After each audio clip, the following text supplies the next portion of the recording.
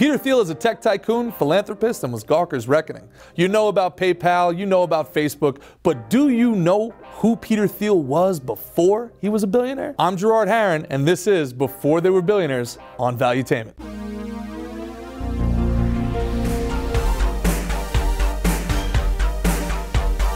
Peter Andreas Thiel was born in West Germany on October 11, 1967. When Peter was one, his family migrated to Cleveland, where his father Klaus worked as a chemical engineer. Before settling in Foster City, California in 1977, the Thiels lived in South Africa and also modern-day Namibia. Peter had to change elementary schools seven times. One of Peter's elementary schools was incredibly strict. They required students to wear uniforms and utilize corporal punishment such as striking the student's hands with a ruler for mistakes. This experience instilled a distaste for uniformity and regimentation, later reflected in Thiel's support for individualism and libertarianism as an adult. Thiel enjoyed playing Dungeons and Dragons and was an avid reader of science fiction, with Isaac Asimov and Robert A. Heinlein among his favorite authors, and a fan of J.R.R. Tolkien's work, stating as an adult that he had read The Lord of the Rings over 10 times during his childhood. He has since founded six firms, Palantir Technologies, Valar Ventures, Mithril, Lembas LLC, Rivendell LLC, and Arda Capital, whose names originate directly from Tolkien's novels. In the late 80s, Peter Thiel studied philosophy at Stanford University, during which time he founded the Stanford Review,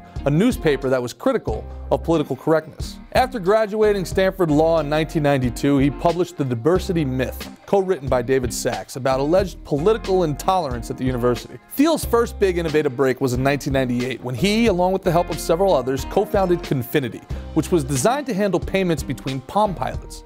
The following year, Confinity merged with X.com, a startup online bank developed by this guy right here, who you know from the very first, before they were billionaires. PayPal was created with Thiel becoming its CEO and chairman, designed to create a new world currency.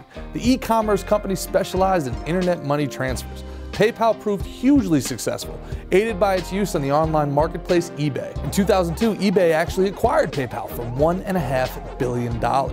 The transaction made Thiel a deca millionaire, and he subsequently invested in a number of startups, notably an online social networking service called Facebook. During this time, Peter Thiel established the hedge fund Clarium Capital Management. In 2004, Thiel co-founded Palantir Technologies, a data analytics firm. Critics questioned its subsequent involvement with the CIA and other government agencies, especially given Thiel's outspoken libertarianism. So many young people excited about the libertarian ideas that we've been fighting for for so many decades. Thiel argued that Palantir's technology allowed for focused data retrieval, preventing overreaching searches and more draconian measures. The company was also used by banks to detect fraud and handle other cybersecurity means. In 2005, Thiel established Founders Fund, a venture capital firm, and invested in such companies as Airbnb, Lyft, Stripe, and SpaceX. There's that guy again.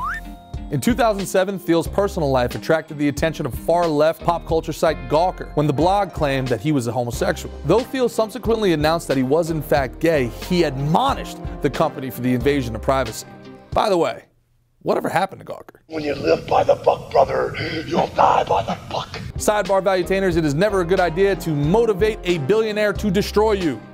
In May 2012, Facebook IPO'd with a market cap of 100 billion. Thiel sold 17 million shares of the company, grossing a cool 638 mil from the IPO and officially entering the billionaire club. Not a bad return on a 500k investment. For Valuetainment, I'm Gerard Haran, and this has been Before They Were Billionaires. Pet, Peter Andres Thiel. It's probably Peter Thiel. Peter, come get your sausages, Peter. Why are they speaking English in West Germany, Mike? Why? So many questions. I have so many questions.